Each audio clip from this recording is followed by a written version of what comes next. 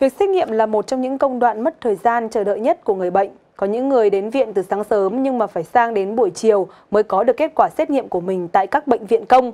Là một trong số những cơ sở y tế có số lượng bệnh nhân lớn nhất ở phía Nam, Bệnh viện Trợ Rẫy vừa rút ngắn một nửa thời gian thực hiện các xét nghiệm tại đây nhờ vào hệ thống xét nghiệm chuẩn quốc tế đầu tiên tại Việt Nam. Do kết quả xét nghiệm ảnh hưởng từ 60 đến 70% quyết định lâm sàng, nên việc đảm bảo có kết quả đúng hẹn, chất lượng tốt là một thách thức lớn với các bệnh viện.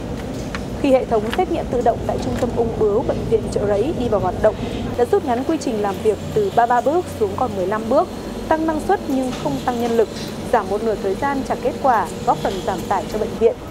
Được biết, đơn vị xét nghiệm thuộc Trung tâm ung bướu Bệnh viện Trợ Rẫy đã ứng dụng tiêu chuẩn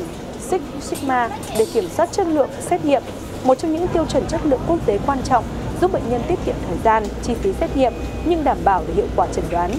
Hiện nay chỉ có gần 50 trung tâm xét nghiệm trên toàn thế giới đạt được chứng nhận Six Sigma. Tại Việt Nam, đơn vị xét nghiệm thuộc Trung tâm ung bướu Bệnh viện Trợ Rẫy là đơn vị xét nghiệm công lập đầu tiên đạt được chứng nhận này.